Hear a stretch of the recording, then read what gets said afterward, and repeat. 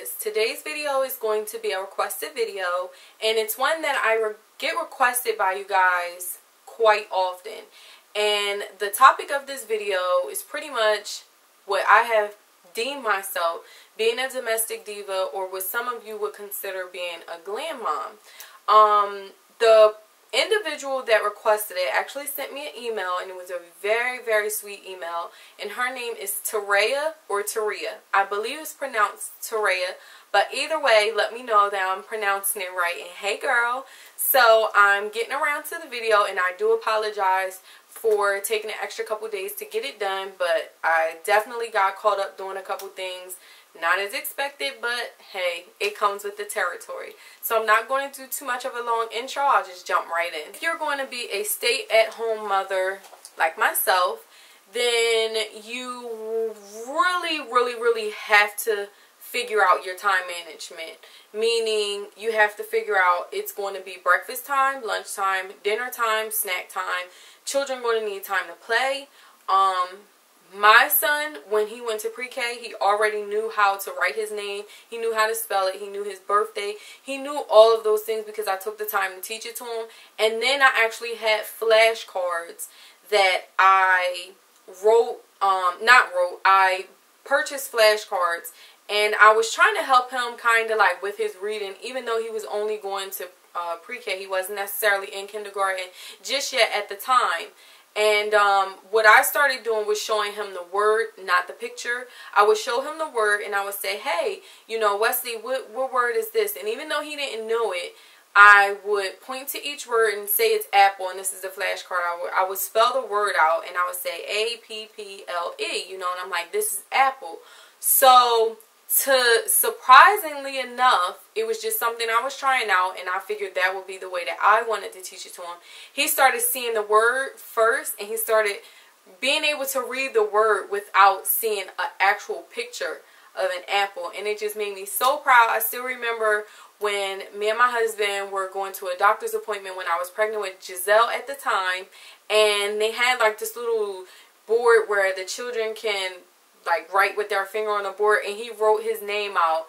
And he's like babe you know he just wrote his name and i'm looking at him like oh my god so he is picking up on the things i'm teaching him because that's another thing you have to be really patient with the kids because if it's their first time starting to see these things just know that they're not going to get it right off the bat. However children tend to pay attention to things and they might not show you that they're picking up on it but they might surprise you and randomly just doing this like oh so the work we're doing at home is paying off. So needless to say that was one of my proudest moments especially being a stay-at-home mom.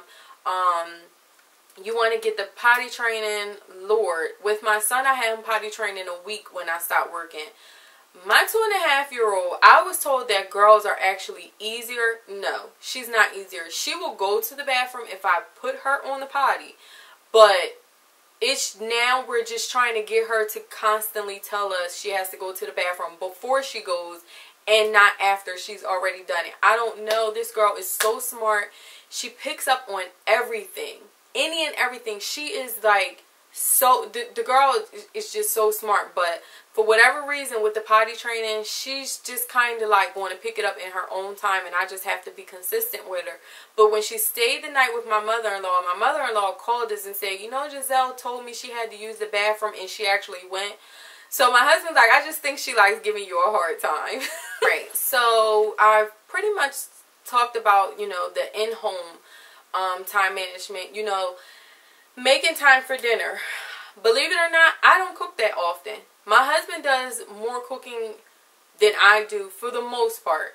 And it's simply because he enjoys it. I was lucky enough to find a man who loves to cook. He likes cooking. That's just something he likes to do in his downtime. He likes figuring out different recipes. And my mother-in-law is a really good cook and it was something that she taught him. So it's kind of like just something that he enjoys but it is something that he grew up knowing and watching his mom and his grandmom do.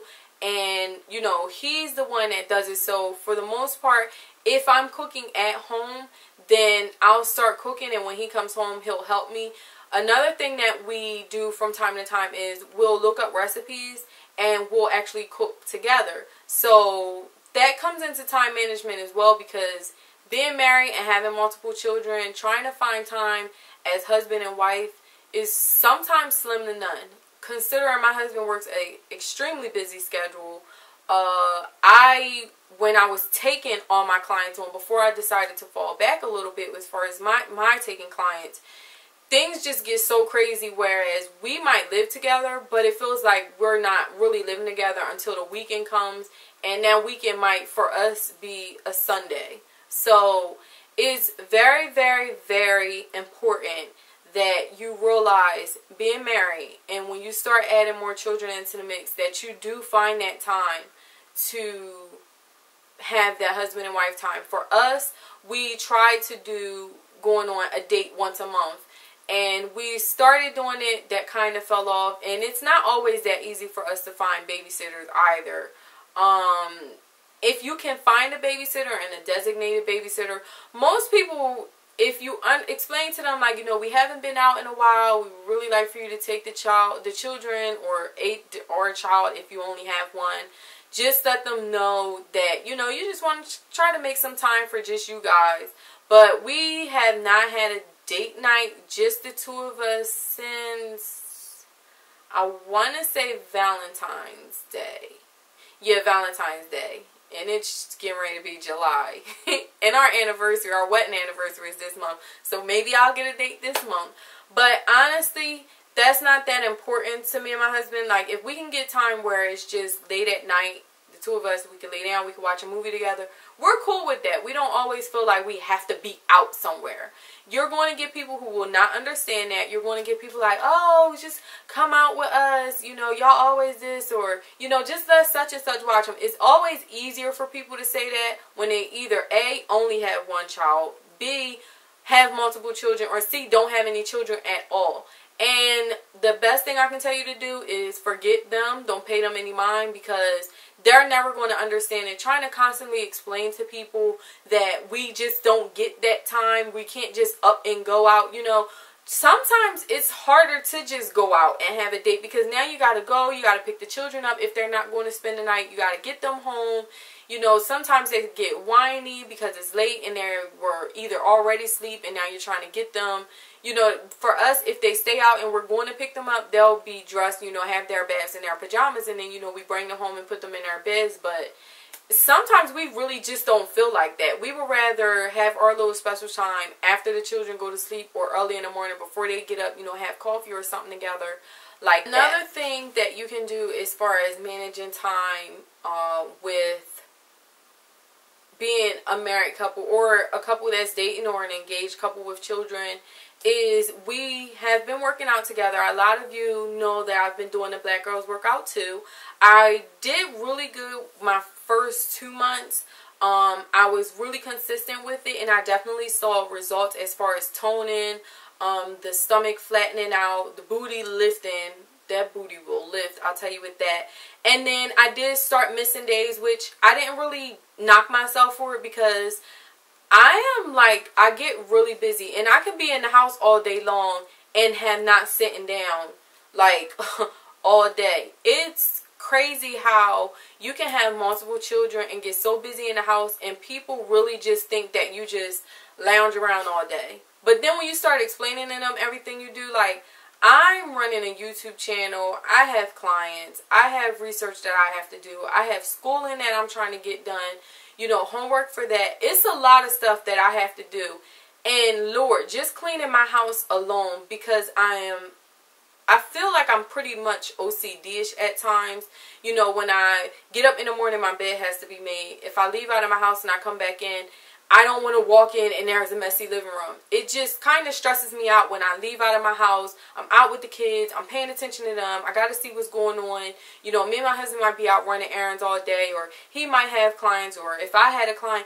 When you come home from a long day, you don't want to come home to a messy house because when you come home, you want to be able to just relax. And if I can't do that, it'll stress me out and I'm now agitated and frustrated because now I'm trying to rush and clean up. And that's the one thing that you know, keeping organization in the house will help you as far as managing your cleaning. Set up a schedule.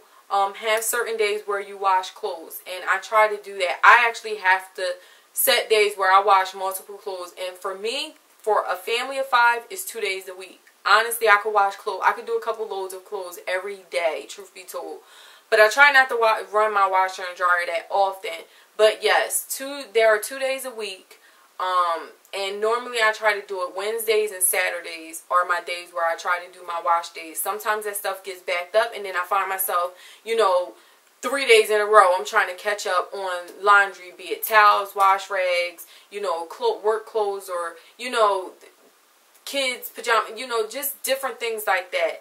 The, the laundry builds up, you know, cooking, everything really comes into play when you have children and for us, you know, when our son goes to school, he's in school 7.30 in the morning and then he's coming home at 4, well, he's getting out at about 4.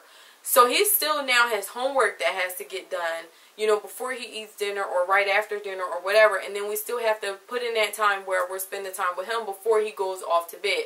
By then, he's pretty much exhausted. He's ready to just go to sleep on his own anyway. But we do set a bedtime for him. And me and my husband are still trying to get our own bedtime down pat. Because me and him sometimes, well, 90% of the time, we're not going to bed till like 2 or 3. And then my husband's getting up like 5 or 5.30 just so that he can get to the barbershop. So we're really running on very minimal sleep. And it's bad. It's a bad habit, but it's just what it is for us right now. Like we really have a lot to do, and people just really just don't understand that. And I, I, and and as a mother, you'll notice, and you'll get frustrated a lot because people will try to downplay the things that you have to do, and it's a lot. It's it's really much it's a lot. And then when you get people who really aren't willing to help you and they want to throw in their two cents and opinions you just pretty much chuck them out and don't pay them any money one of the most important time managements i would say as a mother is making time specifically for yourself. Be it time to paint your fingernails you know you want to do a little spa night for yourself uh, be it a facial taking a nice hot bubble bath reading a book. I have the kindle app on my phone so I actually, you know, purchase my books off of Amazon and I'll read them. Uh, it's just many different things. Find something that you enjoy.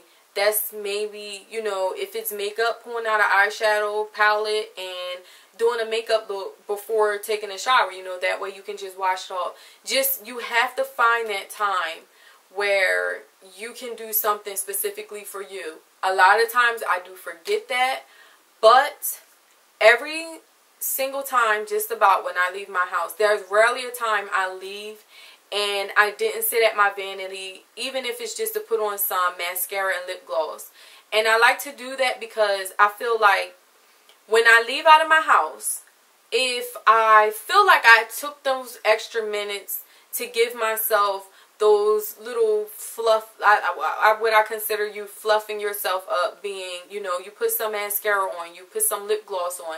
When you take the time to do that it does give you an extra pep in your step. So while you're out when I even though I might be a little bit frustrated or I have so much to do I when I feel better, I when I look better, I feel better. I do not go outside with pajamas on or you know, if I wear a scarf, it's going to be like a decorative skirt or, or scarf or something like that. And truth be told, recently I just started doing that when I cut my hair, and that's only because with me having blonde hair, I tend to not want to mess around with it and fuss with it too much because I don't want it to have any damage or anything like that. So I do try to do protective styling even with having a really short haircut. For me, um, mommy time could be simply this, taking the time to film a video. It's so many different things that you can do. It's just seriously finding the time for it. Um, syncing syncing your schedules up on the phones on or having a calendar I have a calendar up right over my vanity. And as soon as a doctor's appointment comes up I write it down I put it in my phone or my husband's phone.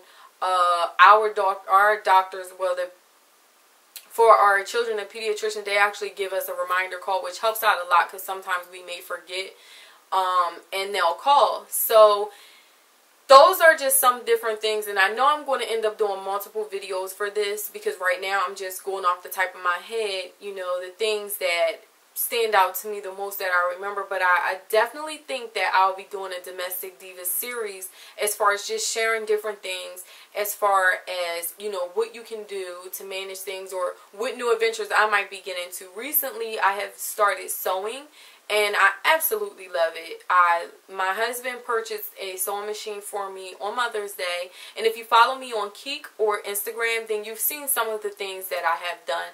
I did record videos, but I will say that a lot of times if I post a picture or something, everyone wants a tutorial, and for me, sewing right now, I don't really care to do a tutorial for it just like with the nails before you know I I want to play around with it first just so I can get some of the lingo and the techniques down packed first because I don't want to be confused explaining in a video. It kind of turns me off when I watch a video and someone doesn't necessarily they they know how to do it but they don't know how to explain it to you so it kind of gets you so confused so that's why most of the time if it's a new craft for me then I'll show you pictures just to give you an idea of what I'm doing um, but I don't like to do a step by step until I get comfortable enough where I can just run it down and explain it to you and it's like reading it off the you know like it's like the back of my hand. I can explain it to you. But yeah definitely do those mommy time things. I say find you an everyday makeup routine. Even if it's just a little bit of blush on the cheeks you know some powder some blush lip gloss and some mascara. Something that you can do quick and out the door. Get up earlier if you have to because having children with us, we have to get up about four hours early to get everyone dressed and out the door in time to be where we need to be at on time. And sometimes we're still running late. And I, I hate running late, but it just happens. And it's something I'm still trying to get used to, but it does frustrate me when we do. And my husband likes to be punctual, and it drives him nuts when we're running late anywhere that we have to be. But at the same time, it really does just come with the territory. now, I'll touch on the uh, clothing, and then this will probably be the end of the video because I don't want to make it too long. But as far as dressing myself, I get a lot of people are like, you're so fashionable to be a mom. How do you do it? I try to find things that I try not to purchase items that I feel like are going to make me feel real blah. I try to purchase color unless it's something all black and you know working with my clients for the most part I wear all black to all my jobs but uh, I try to find things that make me feel good. I actually enjoy going shopping. My twin and I, we love to go out and find out what the latest fashions are, mix and match things. So for me, I only buy clothing that I feel fashionable. That way, when I go through my closet and I'm trying to find something, I don't have any frumpy clothing that I'm just kind of like, uh, I probably should have wore something else. I rarely have anything. I have two sweatsuits and they're actually purchased from Walmart that I consider my running around outfits and they're uh, top model sweatsuits. One is black and one is gray and they're like zip up and even then I'll still make them cute, put on a little lip gloss and some blush or something like that. But lately, the look that I'm wearing now, and I will do a tutorial on it, it's super simple. It's just my Revlon Nearly Naked foundation, some blush, a little bit of contour, and then I just tightline and um, put on some mascara and lip gloss and that's all I've been doing. And I've actually been getting a lot of compliments on it and everyone's like oh your skin looks so glowy. You know I just do minimal as opposed to doing nothing at all The saying happy wife, happy life is definitely true, but it also goes for mother. If mom's not happy, no one else is going to be happy. At least in my household, that's true anyway. But it's just that health-wise, you want to make sure that you try to take care of yourself. It's so hard. I do it all the time. I feel like everyone else can get sick, but I'm not allowed to get sick because if I do, who's going to take care of everyone else, including my husband? I tease my husband and I'm like, you know, you're like a fourth child. and I'm sure a lot of wives feel like that. But um, definitely make sure that you find that time. Find a time to handle work. You know, work is work. Try not to bring work home if you don't have to. And as far as a wardrobe for a mother or a glam mom or a domestic diva like myself, I just try to find things that make me feel good at all times. Try not to buy frumpy clothing even when it's that time of the month and you don't feel so nice. Just try to find something with a little bit of extra stretch in it um, that way you still feel cute, you feel fashionable, and you feel comfortable. Stay away from the mom jeans, so-called mom jeans, and things like that. And anytime you go shopping, just try to find things that always make you feel good, that brighten up your mood, that make you feel happy to wear it. And same thing with your makeup. Set your makeup and your outfit out the day before. Set the children's outfits out the day before. Plan your hair, hairstyle, accessories, everything. That way it'll save you time in the morning. Same thing with cooking. Try to do it ahead if you can. Cook enough so that you'll have leftovers. Me, like I said, fortunately, I have a husband who enjoys cooking. So I kind of got lucky in that aspect. But as far as the cleaning, yeah, I'm kind of the 90% of the time I'm doing it. But my my husband does help when he whenever he is home, but he really does work a crazy schedule. Um make some time for yourself be it early early in the morning before the children get up or late at night when they go to bed like i'm doing right now making this video. Just try to find that time to do things that make you happy and make you enjoy life because it's so easy to go through your mother lifestyle and you're really much probably doing the same thing from day to day. And it does get tiresome after a while. You will get frustrated. And you're going to have moments where you feel like you just need to go in a room and cry. If you need to so be it. Who's going to know about it you know? And try to surround yourself with positive people. Me i can share a lot of stories about some things that i've went through. And it's not always the best but you know, you're going to have people around you who may not be so supportive. And you need to start getting those people out of your life. Being a mom of a child or multiple children is an extremely hard job. People do not give mothers all the credit. It's kind of like you do your job and that's it. But being a mom is one of the hardest jobs you'll ever take on and give yourself a pat on the back even if no one else does. Luckily, I have a lot of supporters and trust and believe when I get comments and emails from you guys, it really does give me that extra pep and that extra oomph to get me through the day at times and you might not even know it. But you guys definitely inspire me and I get told all the time that I inspire you. But trust me, you guys inspire me and help me to keep it going and, and wanting to share things with you all and make it a lot of fun. So you guys are my mommy time and I really appreciate you all. And Taria or Taria, I hope I'm pronouncing it right. I hope this gives you just a little bit of insight on how I do things. I'll definitely make sure that I break the video down and get it more detailed. But I just wanted you to have a summed up video of how I do things. But I'll definitely be doing another one, getting more in detail. But I hope you guys enjoyed the video. And until next time, have a gorgeous day, dolls. Smooches. Mwah. Bye.